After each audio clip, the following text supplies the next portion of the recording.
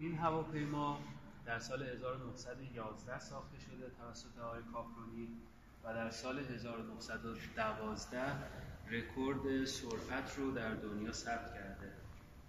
موتور 35 اسبی این هواپیما ساخت آنزونی هستش و در همون سالی که هواپیمای CA6 ساخته شده این هم تولید شده.